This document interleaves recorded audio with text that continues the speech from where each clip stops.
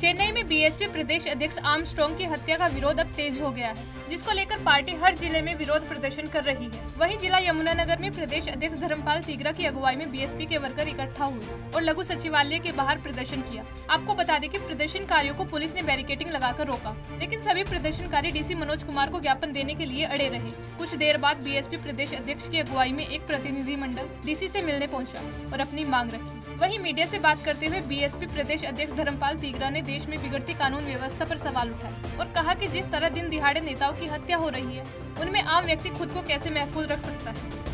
हमारी पार्टी के जो पूरे भारत में आज राष्ट्रपति के नाम ज्ञापन देने का काम कर रही है हमारी जो पार्टी के तमिलनाडु के के आर आर एम स्ट्रॉन्ग जी, जो प्रदेश अध्यक्ष जी थे, उनके, उनकी निर्मम हत्या कर दी गई और आज हमारी पार्टी की यही मांग है कि उनकी सीबीआई जाँच हो और दोषियों को जल्दी से जल्दी पकड़ा जाए और जो दोषी है उन उनको कड़ी से कड़ी सज़ा दी जाए। कब का ये मामला है ये पाँच तारीख का है।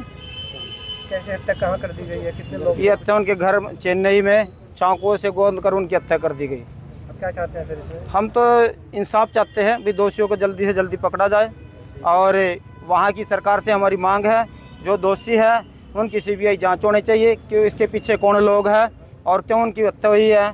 और एक निर्दोष व्यक्ति को अगर ऐसे ही अगर ऐसे ही हत्या होती रहती है जो एक प्रदेश पार्टी का प्रदेश अध्यक्ष है तो साथ ही वहाँ मैं आपके चैनल के माध्यम से बताना चाहता हूँ कि वहाँ कानून क्या काम कर रहा है? वहाँ कानून नाम की कोई चीज़ नहीं है।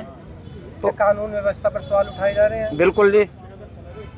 तो अभी जो आप किसको मेमोरेंडम देने आए हैं हम डीसी साहब को ज्ञापन देने आए। राष्ट्रपति के नाम ज्ञापन है।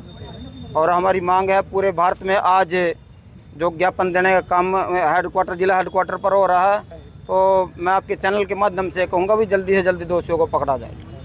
सर अगर गिरफ्तारी नहीं होती कोई कार्रवाई नहीं होती तो अगला प्लान क्या तो हमारा अगला प्लान जैसे ही आदरणीय हमारे सुप्रीमो मायावती जी के बहन जी के आदेश अनुसार जो भी अगले दिशा निर्देश आएँगे उस पर हम जल्दी संज्ञान लेने का काम करेंगे। वहीं ऐसे में अब देखना ही होगा कि सरकार प्रशासन इनकी मांगों को कब तक पूरा करता है। पंजाब केसरी टीवी के लिए यमुनानगर से तिलक भारद्वाज की रिपोर्ट।